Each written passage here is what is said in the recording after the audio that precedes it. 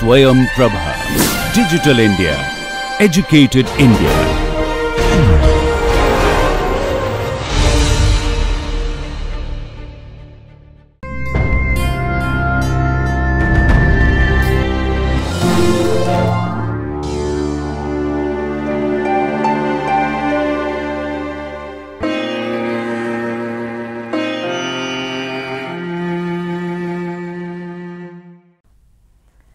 Everyone. In today's video, we shall discuss about zymogens. Zymogens are inactive precursors of active enzymes. Because they are precursor molecules, they are considered as proenzymes. Zymogens are activated only when necessary at their specific site of action. So, the activation process happens only in presence of their activators. So, during the activation process, there is structural changes happening on the zymogens. And this activation process is irreversible and it is also considered as irreversible covalent modification of enzymes. So, we have zymogens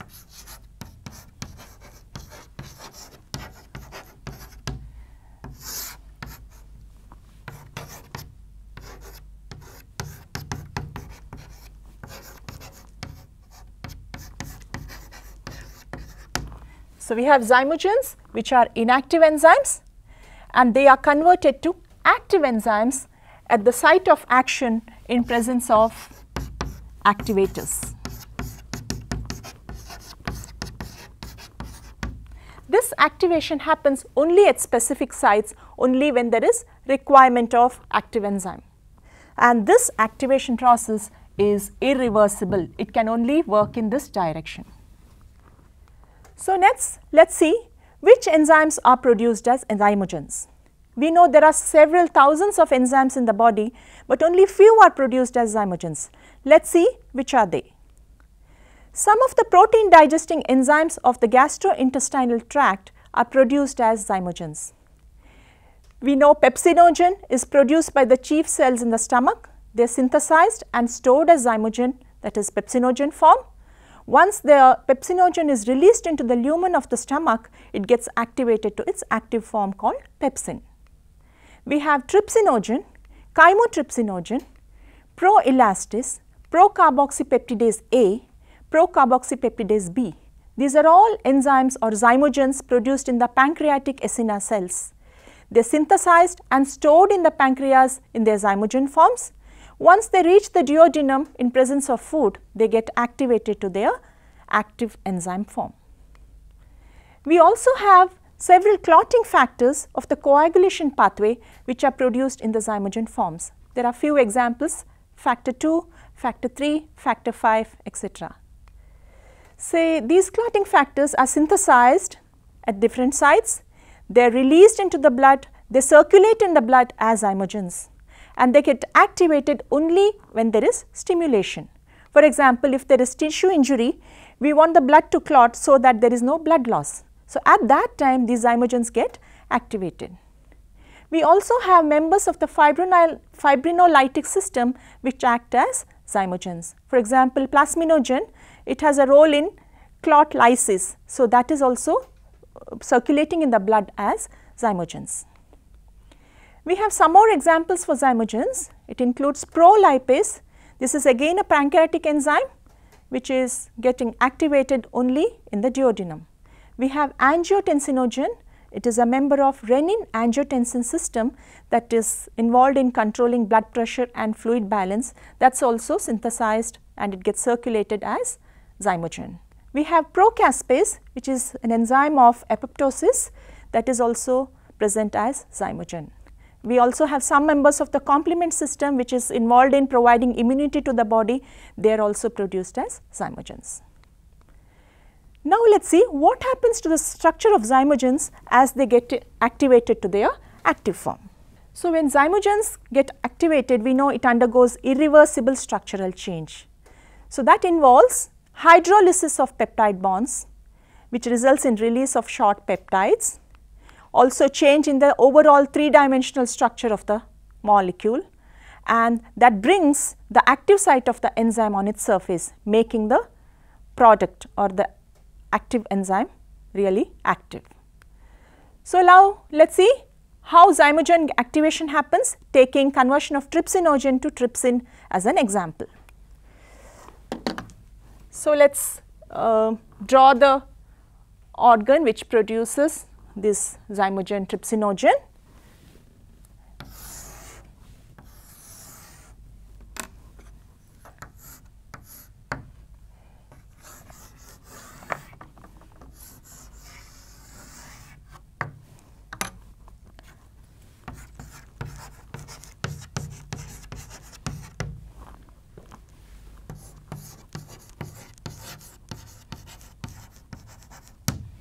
This is pancreas where pancreatic zymogens are produced that includes trypsinogen, chymotrypsinogen, proelastase, carboxypeptidase A, carboxypeptidase B. They are all produced in the pancreatic acinar cells.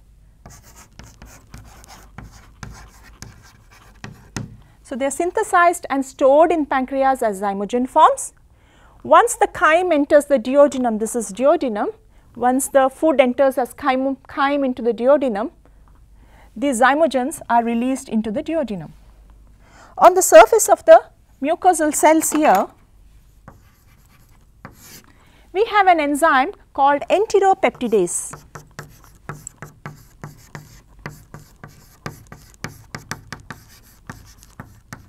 So, once the zymogens reach the duodenum, the lumen of the duodenum, enteropeptidase activates all these zymogens directly or indirectly. Let us see how the activation happens.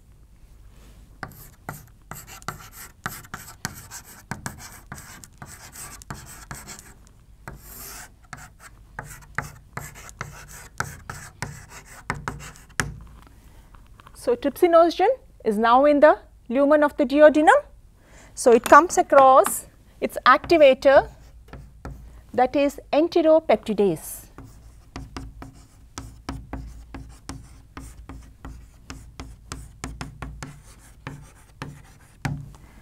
During the activation process, there is release of hexapeptide.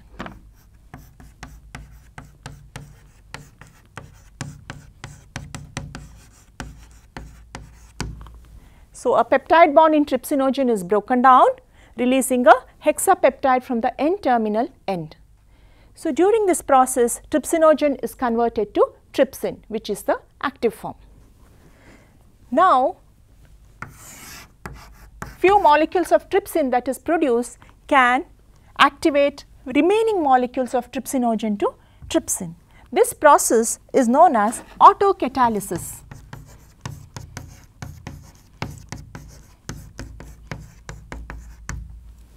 So, in the lumen of the intestine now we have trypsin which is active. This trypsin is now responsible for converting remaining pancreatic zymogens to their active form. So, which are the remaining ones?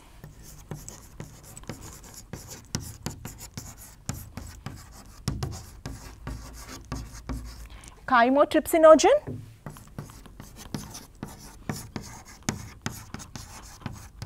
proelastase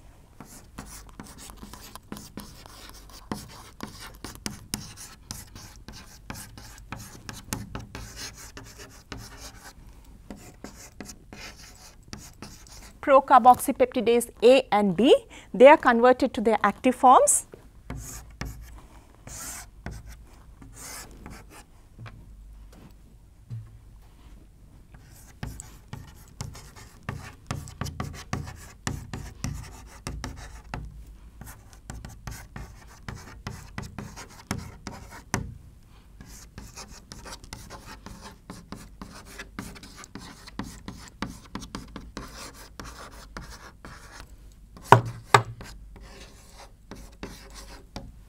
So, trypsin is now responsible for converting all these zymogens to their active form.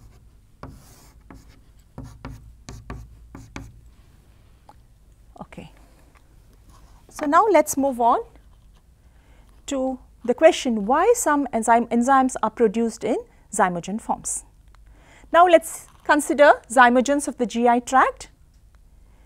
If these zymogens are produced and stored in active form, they can damage the organ by chewing away the cellular proteins. So, it is only wise to store them in inactive form. So, they get activated in the lumen of the intestine in presence of food thereby facilitating its action on the food. So, now we have enzymes of coagulation pathway, zymogens of coagulation pathway. So, if they are circulated in the active form, this uh, will be responsible for producing clots. They activate the coagulation pathway and they produce clots. So, this production of clot is very damaging to the system whenever it is unnecessary. So, let us see do we have any conditions which is associated with premature activation of zymogens. So, I will be listing out two conditions. There is a condition called acute pancreatitis where pancreatic zymogens get prematurely activated and we have a condition called hypercoagulable state associated with different cancers where there is clot formations whenever it is not necessary. So, let us touch upon these two conditions.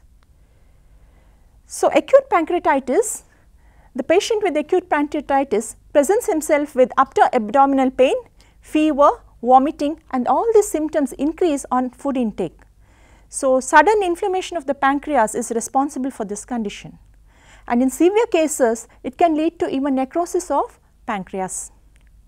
So, what happens here is trypsinogen gets activated to trypsin in the acinar cells itself. There is premature activation of trypsinogen in the pancreas. So, these uh, now trypsin molecules will also activate other zymogens and all these active enzymes will start acting on the cellular proteins thereby damaging the pancreas. And these zymogens as well as the active enzymes from pancreas are released into the blood they circulate and they reach different organs like lungs causing its damage. So, now we have one more condition associated with premature activation of zymogens. So, many uh, types of cancer are associated with hypercoagulable state or there is a condition called migratory thrombophlebitis or Trousseau syndrome. What happens here is there is clot formation in the superficial vessels and these clots they appear at different places at different time. So, that is known as migratory thrombophlebitis. So, what is happening here? So, the cancerous tissues are able to release certain tissue factors which are activating the extrinsic pathway of blood coagulation. So, thereby they cause clot formation. So, that is about the zymogens. So, we have learnt about zymogens under these headings. I have defined zymogens and I have given some examples for zymogens and I, we also learnt about activation of zymogen taking trypsinogen to trypsin as an example. Then we also learnt about purpose of keeping these enzymes in the zymogen form and also two disorders associated with premature and inappropriate activation of zymogens. Thank you.